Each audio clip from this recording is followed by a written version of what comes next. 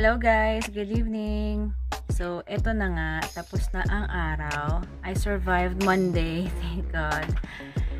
Uh, today, matutulog na tayo. So, mapakita ko lang kung anong ginagawa ko before Drake. so, kanina naka-makeup tayo ng very very light lang.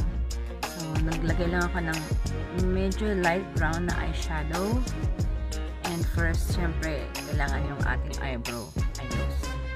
Sa akin, kung hindi ako mag-makeup ng ng bonggang-bongga, nag-eyebrow lang ako at uh, mascara and lipstick. Yun lang okay na. Pero minsan, gusto ko din syempre may eyeshadow, may cheek tint, at mas makapal na mascara. Ang pinakamatagal ayusin sa face ko na lagyan ng makeup. Is yung mascara. Kasi ang tagal ko siyang uh, nilalagyan. Hindi ko alam kung bakit pero mas, mas matagal ako doon. Eyeshadow saglit lang yan. Pero yung mascara ko sabi nga na isang friend ko isang oras na hindi tapos anyway so magtatanggal tayo ng uh, makeup. Hindi ako nag foundation kanina. Nag moisturizer lang ako kanina.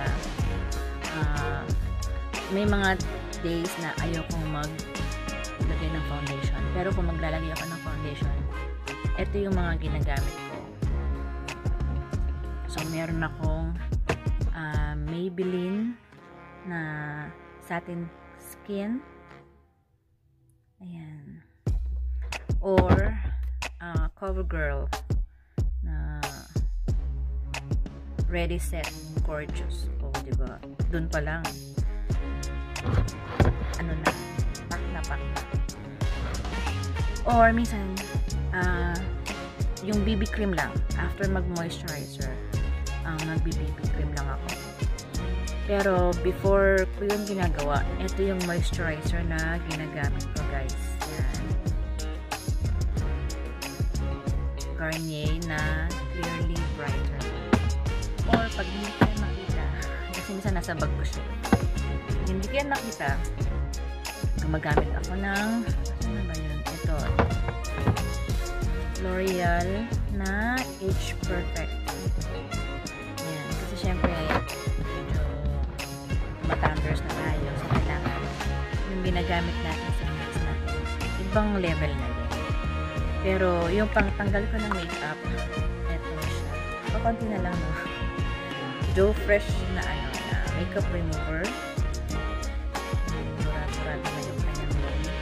Joe Fresh yan. Kasi unang-una, mas mura. At saka, uh, ayun, mas mura lang. so, yan yung ginagamit ko po. Pag wala lang, pag, pag minsan, pag hindi ko naman yan, gumagamit lang ako ng baby oil, okay na. Pero, konti lang nilalagay ko sa cotton kasi, syempre, maano yan, diba? Sobrang, ano siya, ma-oily, kasi nga oil, diba? Lang. And tapos, um, ganito yung gamit ko na cotton pads. Ayan. Sa dollar store ko lang siya nabili, guys. Cotton pads. So, lalagyan lang natin siya ng sinashake, shake mo muna siya. Kunti na lang. Kailangan ko lang bumili. So, pinapress lang siya doon sa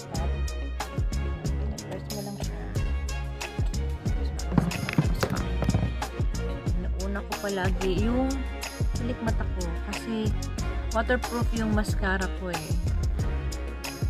So, matagal siya. Medyo binababad ko lang siyang ganyan. Minsan, binababad ko muna para ma-absorb ng pilik mata. Tapos, tsaka ko siya wina-wipe. Dahan-dahan lang.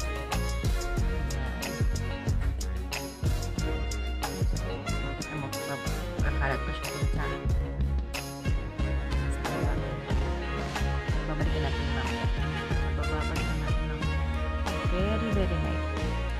Kasi guys, remember, yung balat natin sa around the eye area, diba?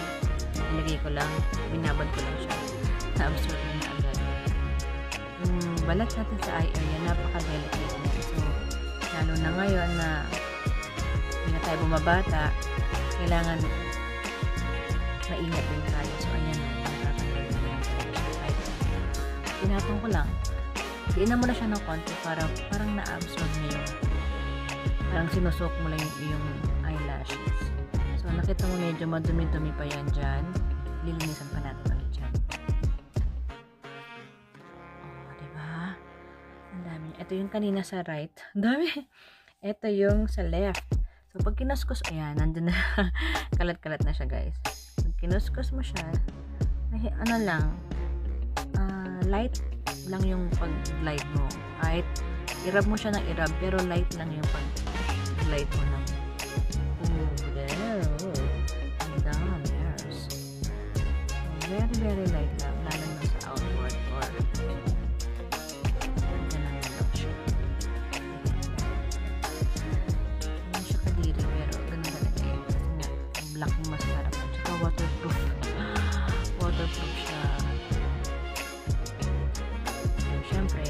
Natin yung waterproof ka, para kahit medyo nag papawis-pawis na tayo.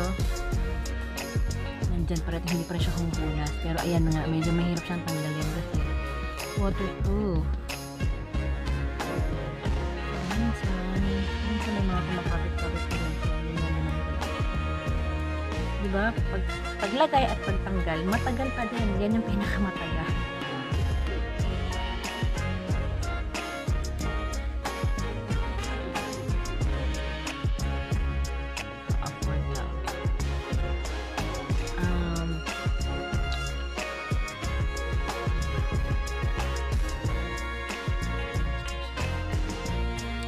dati, nas na-try kong magpalagay ng eyelash extensions. Ah, pero hindi ko na siya naulit. Wala lang. Pero maganda talaga siya, in fairness. Kahit hindi ka na mag-makeup, yun lang, okay na. Siguro, lipstick pa din kasi nakakabuhay ng mukha yung lipstick. Nakakangaganda ba ng aura? So, ayan, after nun, yung forehead na natin, yung eyebrow, oh, diba? Meron pa din brown brown. Yun nga yung mata natin, tignan mo kahit na nagkano ka na.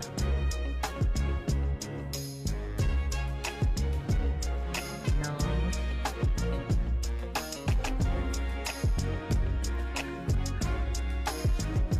sa mata ulit. Ganyan lang. Linisan mo lang yung face mo kasi syempre maghapon ka sa labas. Lalo na especially kung ang work mo is like uh, nasa kitchen ka or uh, outside ka lagi, di ba? Uh, kailangan mo talagang ang mukha bago ka matulog kasi yung mga dirt yan, build up yan sa skin mo. One time, hindi nakalimutan kong uh, magtanggal ng mascara. So, akala ko okay lang siya kasi hindi naman siya parang sobrang big deal, di ba? Pwede ka namang hilimusan in the morning. Pero hindi siya maganda kasi syempre matigas na yung mascara ko. So, pag um, natutulog na ako, hindi mo siya namamalayan, kinakamot mo yung mata mo, nirarab mo yung mata mo. Pag gising ko, may mga pilik mata na ako nandito. So, siguro eventually na, na rub out ko siya. Ayun, naputol yung mga mas eyelashes ko. so, parang hindi na siya nagpantay-pantay. So, ayun, hindi ko na na ulit. Hindi ko na inulit ulit. So, nakakapansisi kasi nga nababawasan yung eyelashes mo. Eh, lalo na ako, hindi makapal ang eyelashes ko. So, ayun, sising-sisi ako sabi ko, sana nilinis ko na muna bago ako nagulog.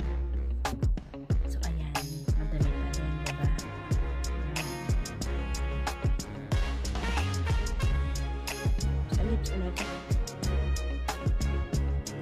Ayan, ayan lang. Magtitipid tayo. Gilid-gilid ng ano, ng tissue. Ayan, gamitin na. Ayan.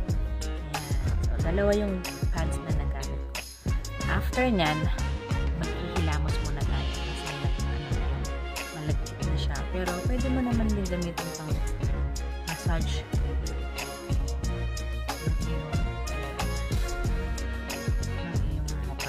Ma-moisturize pa siya lalo. Ah, actually, ang sarap lang. Kasi malinis na siya ulit. Baliktad ako eh. Nililinis ko muna siya ng uh, nga yung makeup remover bago ko hinihilamusan. Kasi uh, what you call this? Dati, naghihilamos muna ako bago ako mag ay sorry. Dati naghihilamos lang ako. Hindi ako nag uh, may makeup remover. Akala ko pag hilamos na okay lang. So nung nalaman ko yung face face uh, yan yung uh, makeup remover na yan inuuna ko na yung makeup remover bago ako maghilamos. Tapos, tsaka ulit ako mag-moisturizer. So, malinis na malinis na rin siya lalo. Yung uh, facial wash ko is uh, clean and clear na step 1. Yun yung ginagamit ko. Ang dami ko ng, paiba-iba ako ng facial wash na ginagamit. Yung best friend ko sa uh, meron siyang nirecommend sa akin na oil uh, actually Korean product siya eh. So, may nirecommend siya sa akin na cleansing oil na calming and refreshing siya. It has green tea, seed oil, and chamomile. So, ito, pwede mo na rin siyang gawing uh, ito yan guys. Mabibili mo siya sa Etude House. So, ito yung binigay niya sa akin sample ano lang to, sample pack lang to. Pero, hindi siya masyadong maraming laman. Pero, napaka uh, worth it na kasi isang patak lang, pwede mo nang ipang-cleanse sa mukha mo. So, dati, uh, ito rin yung ginagamit ko. Paminsan, titipid ko siya dito. So, mas mura kasi itong Joe Fresh eh. Ito, medyo mahal siya. Na-research ko na kung magkano. So, medyo, uh, medyo, ano naman, affordable naman. Pero, syempre, medyo budgeted tayo. Tapos, kasi yung Joe Fresh, medyo ano siya. Mura lang yan. Sasabihin ko sa inyo yung mga price niyan. I-ano ko ulit. Uh, babalik ako doon sa pinagbilhan ko. Tapos, i-share ko kung magkano yung product na. So, kung alin dyan yung mag mapili nyo, at least pwede nyo i-purchase. So, ito, pwede na siyang pang uh, what you call this, cleanser at saka pang pang ano na rin, pang tanggal na rin ng makeup. Pero ang ganda niya sa mukha. So tinitipid ko siya diyan. tapos pag tapos ko maghilamos, syempre nag uh, nagsiserum din ako. So yung ito rin, bigay sa akin ng best friend ko. Kasi yung sister niya nag uh, ano siya ng uh, Korean beauty products ito.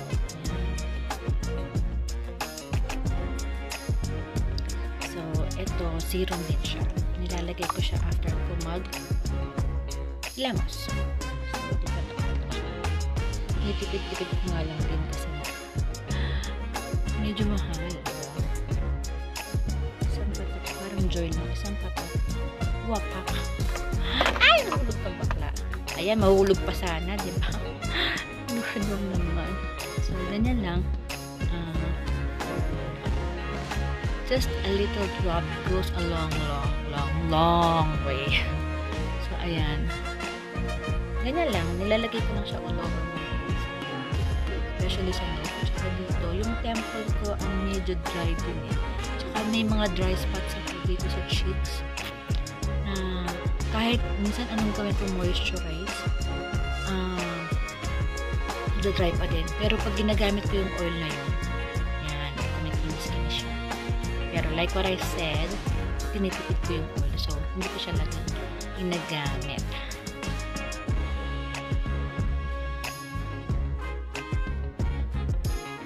Yun lang. Moisturize na tayo. Nag-toothbrush na din. Nag, ano na, freshen up. And then, moisturize lang. Tapos, yung friend ko naman, na nag, ano siya, um, uh, nag-facial siya sa akin before. At saka siya rin naglagay ng eyelash, eyelash extensions ko na ang galing niya, promise. Uh, i-share ko din na lang din sa inyo sa next video ko kung ano yung uh, name niya at kung ano yung uh, details ng kanyang ano, salon. Anyway, sabi niya, nagpa-facial ako sa kanya before. Never pa ako nagpa-facial sa Philippines. Pero nung sa kanya, nung okay na siya at meron na siyang uh, mag-allowed na siyang maggawa ng facial, nagpa-facial ako sa kanya. Anong recommended nga niya na maglagay ng serum. Pero pag, after, mag, pag nalagay yung serum daw, dapat pinapat-pat mo siyang ganyan para mas na-absorb nung skin mo. Parang sampal-sampalin mo lang ng, ng face mo. So, ayan lang. Uh, hindi na ako magma-moisturizer kasi may serum na siya. Okay na ako sa serum lang. Pero sa umaga, serum, moisturizer, and uh, sunblock. So, ito yung sunblock ko. From Philippines guys, Maxipil. SPF 20. Pero, naubos na siya. so, ubos na siya. Ang ginagawa ko ngayong sunblock is ito na lang din, itong uh, Garnier. Kasi SPF 30 naman na siya. So, okay naman na siya na pang ano ng, ng araw. Pero yan nga guys, don't forget to moisturize mag uh, sunscreen and kung may budget pa kayo bili rin kayo ng serum para mas mag ano ng mag-absorb yung balat nyo ng ng uh, moisture din at ng mabuhay-buhay ang mga cells natin. So ayan lang. I hope you like this video guys and kung may natutunan kayo, please comment. Kung wala naman kayo natutunan, comment pa din. Kung meron kayong suggestions and any reactions, comment nyo lang din sa uh, comment box below. And I'll see you in my next videos. Thanks guys for watching and magpapahinga na ang lola niyo.